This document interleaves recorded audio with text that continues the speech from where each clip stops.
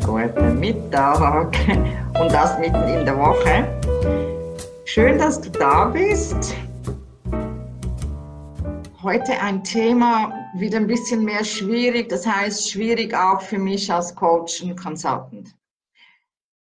Geht es um ein Seminar, äh, das jeder selber freiwillig bucht, selbst bezahlt und kommt, dann ist meist die, das Mitmachen, die Stimmung ganz eine andere, wie denn, wenn es darum geht, dass man das so auf, aufgedrückt bekommt. Und wenn du jetzt heute ein bisschen mehr zum Thema Raucher sein oder eben nicht Raucher sein und den Ärger im Geschäft und im Restaurant und zu Hause und überall ja, ein bisschen mehr dazu wissen möchtest, dann bleib jetzt bitte dran. Ich gebe dir nachher ein paar Tipps, wie du das vielleicht auch auf die Reihe bekommst. Also hier ist wieder die Ruth, die Ruth Aschelier Foser, dein Coach für mehr Lebensqualität. Und mich würde mal interessieren, bist du Raucher? Schreib einfach unten Ja oder Nein rein. Ich sag dir, ich war Raucher, darum weiß ich so ganz genau, von was ich rede. Es gibt aber zurzeit einen aktuellen Anlass an einen Kunden. Und zwar geht es einfach darum, dass diejenigen, die nicht rauchen, ein Riesenproblem damit haben, dass die anderen sagen wir es mal leise und locker ausgedrückt, mindestens einen halben Tag und mehr die Woche draußen stehen beim Rauchen. Eben. Ich gehe, wie hat das so schön geheißen, ich gehe meilenweit für eine Camel.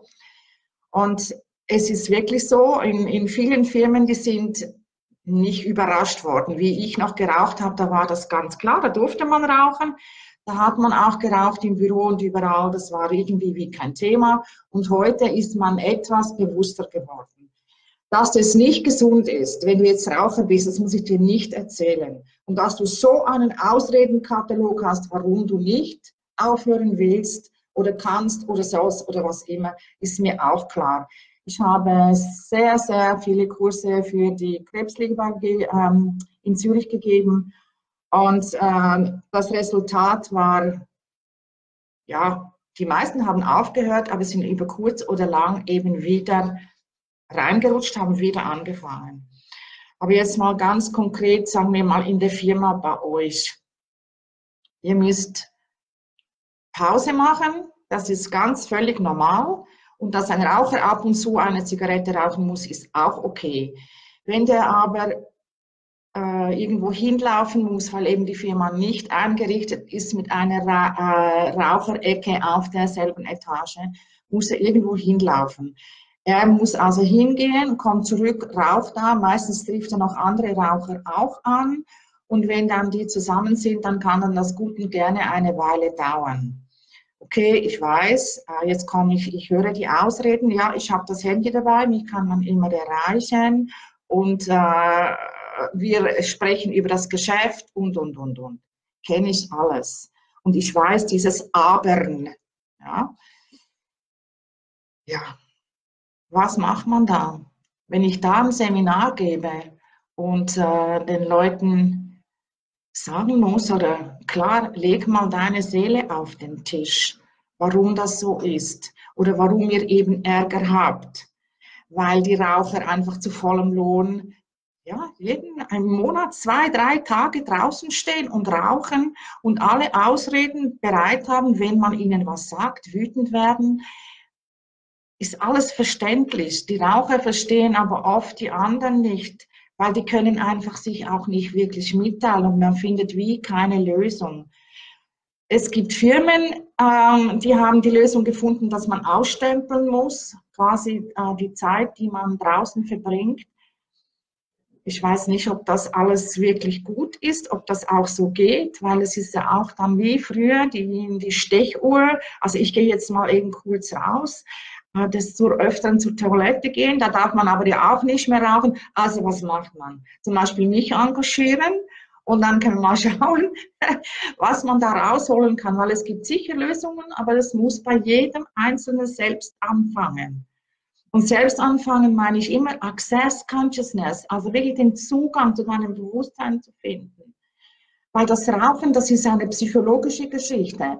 Der eine, der raucht, und das stinkt ja immer, oder? Frische Rauch nicht, aber das andere, für einen Nichtraucher ist das eine Katastrophe. Also ich als Ex-Raucher, ich muss mir das oft anhören. Ah, du tust nur so blöd, du hast ja auch mal geraucht.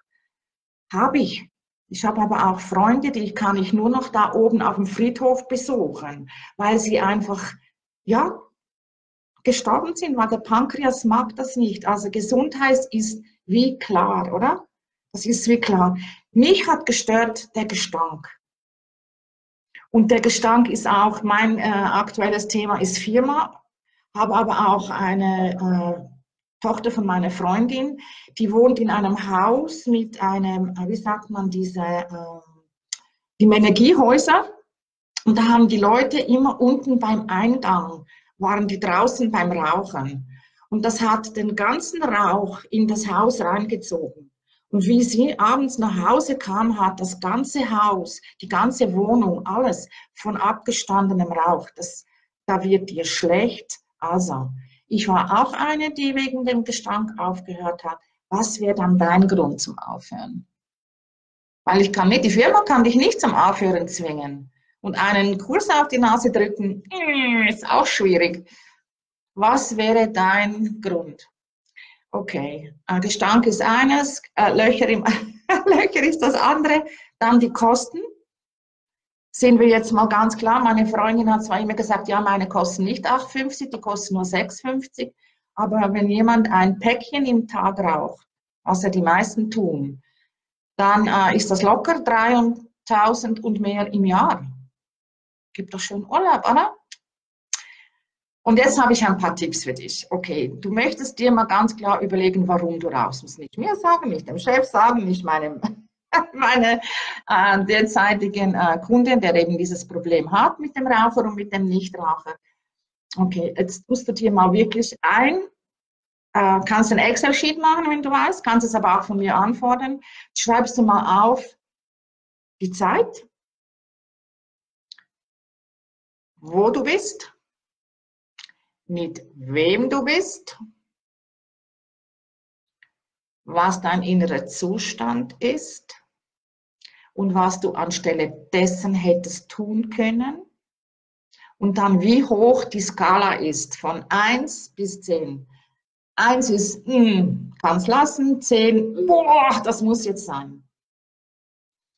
Du wirst ganz, ganz schnell merken, wenn du mal wirklich nur ein Paket jedes Mal erst aufschreibst und dann Zigarette raus und in Ruhe rauchen und einen Gedanken darüber verlieren, was da jetzt eben gerade war. Du wirst sehr, sehr schnell merken, dass es Sachen gibt, die so auslösend sind. Hunger zum Beispiel ist ein, ist ein Auslöser. Dann, ich habe lange, lange keinen Kaffee mehr getrunken, weil ich Angst hatte, wenn ich Kaffee trinke oder Alkohol. Das ist auch sein Thema. Und was ich bei mir festgestellt habe, und ihr hört mich, bei mir redest, da habe ich kein Thema mit. Was aber war immer, wenn es mich betroffen hat, wenn ich am anderen hätte sagen sollen, weißt du was, du kannst mich sonst wo, ja, oder sag bitte mal Stopp, habe ich eins geraucht, runtergeraucht. Ich habe nichts gesagt, wenn es mich betroffen hat, wenn ich mich verletzt gefühlt habe. Dann habe ich einfach geraucht. Und du wirst ganz schnell sehen, ah, das sind immer die gleichen Situationen. Es gibt auch Menschen, die mögen sich einfach nicht. Punkt. Und jedes Mal kommt da so eine Energie. Und du musst mal schauen, ob das so ist. Immer wenn derjenige oder diejenige reinkommt, dass du das Verlangen bekommst nach eins rauchen. Weil wenn du schon mal im Krankenhaus warst, schon mal irgendetwas hattest, du weißt genau, in drei, du kannst da drei Tage im Krankenhaus sein. Wenn du wirklich krank bist, das geht sehr schnell weg.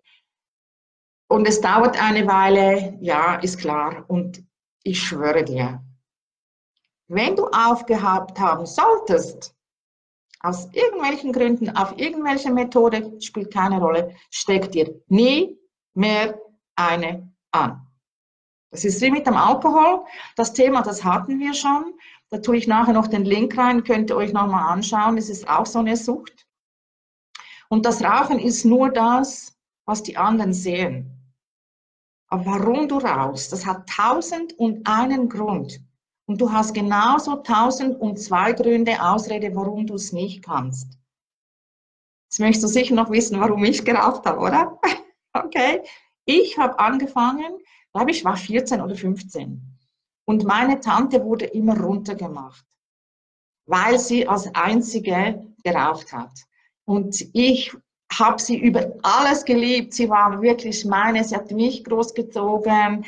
Sie war einfach mein Ein und Alles. Und das war meine Solidarität zu ihr. Und irgendwann war das natürlich auch cool, oder? So die Ende 60er, Anfang 70er, da war das cool, wenn eine Frau geraucht hat, da hat niemand irgendwas Gedanken darüber verloren. Wir haben sie auch einfach weggeschmissen. Gut, irgendwann haben wir Aschenbecher mitgenommen, weil wir haben dann auch gelernt, dass eine Zigarette, ein Stummel, einen Kubikmeter, das sind 1000 Liter Wasser. Das heißt, dein und mein Trinkwasser vergiften. Also vielleicht einfach so mein Tipp für dich, nimm wenigstens einen Aschenbecher mit, dann müssen sich Nichtraucher und Umweltbewusste nicht über dich ärgern und auch nicht so zack, schnell da bei der Eisenbahn unter die Schiene schmeißen oder so. Okay. Das war wieder so ein heavy Thema, aber wenn ihr äh, Bedürfnis habt in der Firma, da kann man wirklich was und man kann gemeinsam was finden, aber aufhören musst du. Und du musst wollen. Und wenn du willst, die Access Bars, die helfen. Die helfen dir für dein Bewusstsein und alles, was es jetzt nicht erlaubt, dass du aus diesem Abern, aus diesem Katalog von Ausreden rauskommst. Möchtest du das zerstören und umkreieren? Ja? And I got times, right and wrong, good and bad, poking pots, all nine, shorts, boys and beyonds. Und dann sagt ihr diesen Satz einfach jeden Tag, morgens, abends, zehnmal über ein paar äh, Wochen und vielleicht löst sich dein Rauchproblem in Rauch auf. Und mit diesen Worten Tschüss und einen schönen Tag und bis morgen.